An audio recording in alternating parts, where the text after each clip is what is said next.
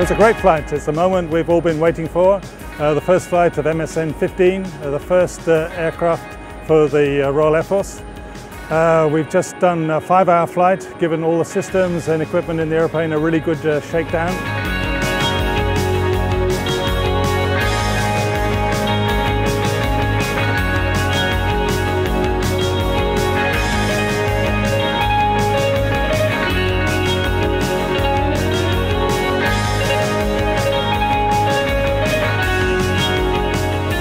Uh, and of course, uh, for me, it's been a huge privilege to be able to fly this uh, first aeroplane for the RAF, ZA400, uh, with the Union Jack uh, on one side and the RAF roundels on the other.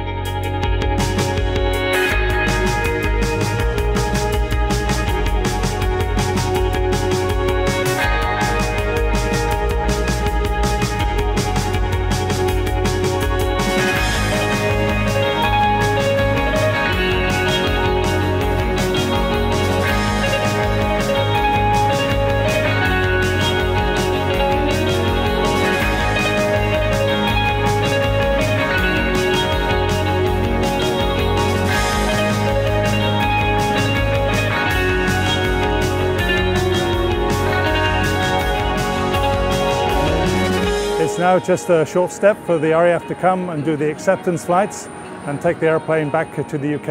And I'm sure that the pilots are going to fly it to really enjoy it.